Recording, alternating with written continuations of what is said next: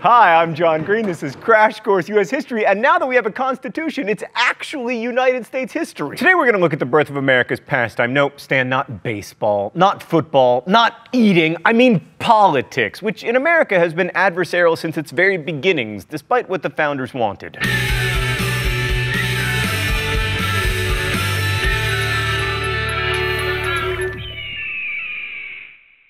We looked at the first big conflict in American politics last week Constitution or Articles of Confederation. I hope that I convinced you that we made the correct choice, but regardless, we made it. The Constitution passed. But immediately following the passage of the Constitution, a pretty fundamental conflict came up. What kind of country should we be? Mr. Green, Mr. Green, the U.S. is supposed to be the policeman of the world and keep all the people in the green parts of not America from hurting themselves. Oh, me from the past. We don't get into that stuff until 1823.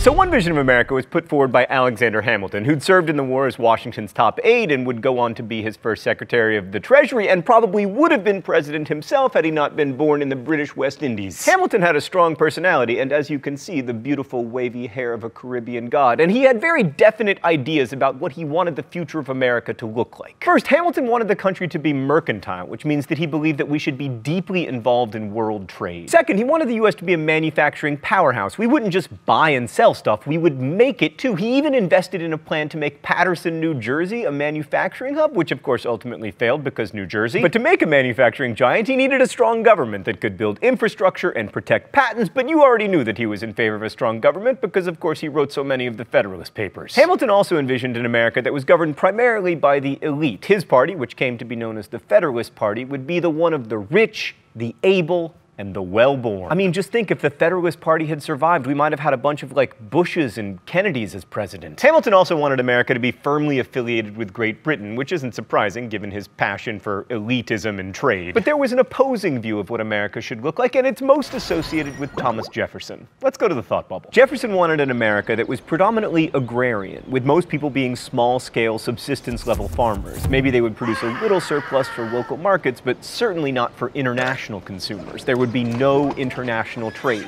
And he didn't want manufacturing either. This small-scale local economy could best be served by a small-scale local government. It's not a surprise to find that Jefferson's sympathies lay with the anti-federalists, even though he benefited from the new Constitution a little bit since, you know, he eventually got to be president and everything. Unlike the elitist Hamilton, Jefferson was an avowed Democrat, which meant that he distrusted concentrated power and privilege and believed that the masses could basically govern themselves. To him, government and concentrated economic power were greater threats to liberty than a tyrannical majority.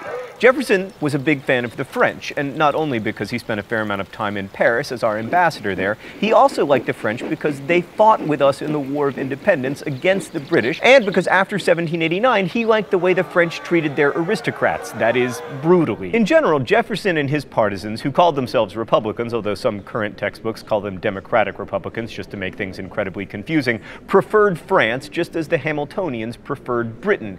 And this was a bit of a problem because France and England England were pretty much constantly at war between 1740 and 1815. Thanks, Thought Bubble. So linked to these imagined Americas were the questions of how democratic we should be and how much free speech we should have. Jefferson and the Republicans wanted more democracy and more free speech. Well, Sort of. I mean, during Washington's presidency, Democratic Republican societies sprang up, the first opposition political parties, and in 1794, the Democratic Republican Society of Pennsylvania published an address which made the point that, quote, freedom of thought and a free communication of opinions by speech or through the medium of the press are the safeguards of our liberties. The Federalists, on the other hand, saw too much free speech and democracy as a threat. And from this, it sounds like the Republicans were better Democrats, but it's a lot more complicated than that. I mean, for one thing, many Republicans, including Thomas Jefferson, were slaveholders, and slavery is kind of the opposite of democracy. And for another, many were supporters of the French Revolution, and supporting the French Revolution after 1793 is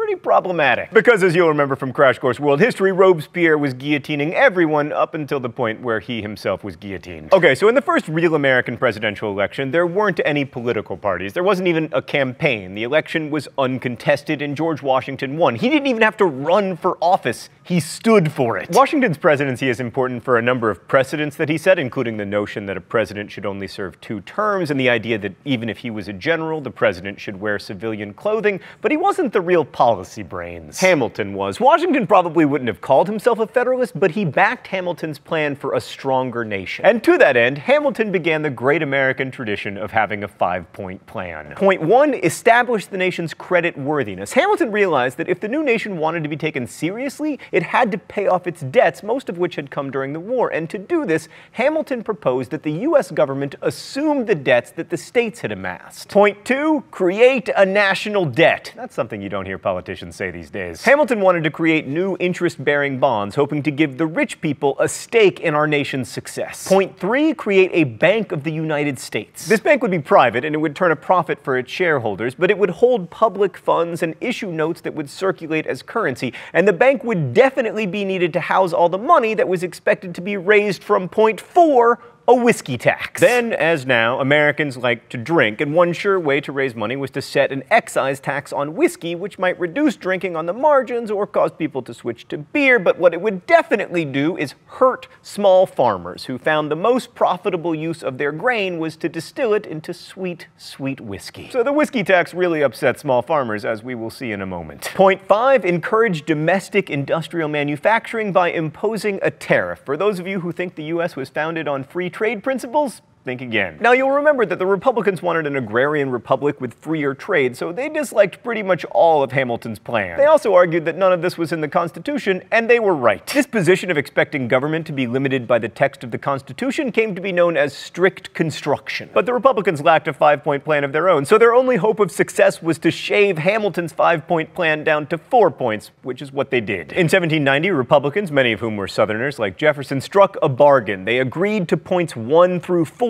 of Hamilton's plan in exchange for a permanent capital on the Potomac in the South, as opposed to the first two temporary capitals of the U.S. in New York and Philadelphia. So the Hamiltonian economy won out for a while. Probably the most immediately controversial aspect of Hamilton's plan was the whiskey tax, and not just because people loved to drink, but also because farmers loved to turn their rye into whiskey into profits. In 1794, Western Pennsylvania farmers even took up arms to protest the tax, and that clearly could not stand. Washington actually led, at least for part of the way, a force of 13,000 men to put down this whiskey rebellion, becoming the only sitting president to lead troops in the field, and America continued to tax booze as it does to this day. On the subject of foreign affairs, there was much more agreement. Just kidding. Hamilton wanted the U.S. to have close ties to Britain for commercial reasons, but Britain was perpetually at war with France, with whom the U.S. technically had a perpetual alliance. You know, because they helped us win the American Revolution, they gave us the Statue of Liberty and Marion Cotillard, etc. And the French Revolution made things even more complicated because Republicans liked it, but Federalists, being somewhat conservative and elitist, were afraid of it. This was especially true when French emissary Citizen Genet showed up in 1793 and started hiring American ships to attack British ones. Britain, in response, began impressing American sailors, which sounds fun, but it isn't. It doesn't mean the British sailors wowed Americans with their awesome mermaid tattoos. It means they kidnapped them and forced them to serve in the British Navy. Washington dispatched Secretary of State John Jay to deal with the impressment issue, and he negotiated the boringly named Jay Treaty, which improved trade relations between the U.S. and Britain and said absolutely nothing about impressment or American shipping rights. For the rest of his term, Washington just tried to ignore the problem, thereby inaugurating another presidential tradition, kicking big foreign policy problems down the line for future presidents. By the end of his presidency, George Washington was somewhat disillusioned by politics. His famous call for unity said that with slight shades of difference, you Americans have the same religion, manners, habits, and political principles. Washington warned against the baneful effects of the spirit of party generally, saying that it agitates the community with ill founded jealousies and false alarms, kindles the animosity of one part against another, foments occasionally riot and insurrection. It opens the door to foreign influence and corruption. Still, by the time the diminutive John Adams took over as the second president, Americans had already divided themselves into two groups elitist Federalists and Republicans who stood for freedom and equality and. Oh, it's time for the mystery document? The rules here are simple. I guess the author of the mystery document. If I am right, I do not get shocked. If I am wrong, I do get shocked. All right, let's give it a go. Yes, ye lordy, ye haughty sex, our souls are by nature equal to yours. The same breath of God animates, enlivens, and invigorates us. Were we to grant that animal strength proved anything, taking into consideration the accustomed impartiality of nature, we should be induced to imagine that she had invested the female mind with superior strength as an equivalent for the bodily powers of man. But waiving this, however palpable advantage, for equality only we wish to contend. So the author of the mystery document is a badass woman. So we have here an argument, and a bit of a snarky one, for equality between men and women. All right, I can do this. Elizabeth Cady Stanton is too young, also probably not funny enough. Ah, poor. Stan, my official guess is Sarah Grimke. Dang it! Oh. Judith Sargent Murray. Oh, well, you know, as part of the patriarchy, I probably deserve this anyway. Ah! So Judith Sargent Murray reminds us that once unleashed, ideas like liberty and equality spread to places where neither the male Federalists nor the male Republicans wanted them to go. But back to Adams. His election in 1796 exposed a big flaw in our electoral system. Because the vice presidency went to whomever had the second highest total number of electoral votes, and that person happened to be Thomas Jefferson, we ended up in a situation where the president and the vice president were on opposite sides of the political spectrum, which was not good. So they changed the Constitution, but not until after the next election, which featured another screw up. We are awesome at this. Side note, the Electoral College system would continue to misrepresent the will of the American voters, most notably in 1876, 1888, and 2000, but also in every election. Domestically, Adams continued Hamilton's policy, but Adams' presidency is best known for foreign problems, especially the way Adams' administration totally overreacted to problems with France. Because we were trying to maintain good commercial relationships with England, and England was perpetually at war with France, France ended up in a quasi-war with the United States despite our eternal alliance. They disrupted our shipping, we felt nervous about their increasingly violent revolution, and then, after three French emissaries tried to extort a bribe from the US government as part of negotiations, the so-called XYZ affair, because we didn't want to give the names of these bribe-seeking French scoundrels, the American public turned against France somewhat hysterically as it will. Taking advantage of the hysteria, Adams pushed through the Alien and Sedition Act. The Alien Act lengthened the period of time it took to become a citizen, and the Sedition Act made it a crime to criticize the government. Among the more famous people prosecuted under the Sedition Act was Matthew Lyon, a congressman from Vermont who was jailed for saying that John Adams was maybe not the best president ever. And while in jail, Lyon won re-election to Congress, which might indicate just how popular this law wasn't. It was so unpopular that Virginia and Kentucky's legislatures passed resolutions against it, claiming that it violated Americans' liberties and that state legislatures had the power to overturn or nullify any federal law that they found to violate the Constitution. This whole business of nullification and states' rights, it will return. The Alien and Sedition Acts were allowed to lapse under Jefferson, and they didn't lead to widespread arrests of everyone who called Adams a tyrant or expressed admiration for the French Revolution. And even though they weren't popular, they didn't doom the Federalist Party either, even though no Federalist was elected president after Adams. But the Alien and Sedition Acts and the response to them from Virginia and Kentucky are important because they show us how unsettled American politics were in the first decade of this country's existence. Even something as basic as freedom of speech was up for grabs as America tried to figure out what kind of country it was going to be. That's important to think about when studying American history, but it's also important to think about when looking at new democracies. You might think that Thomas Jefferson winning the presidential election of 1800 settled all this stuff, but it wasn't so simple. It never is, really.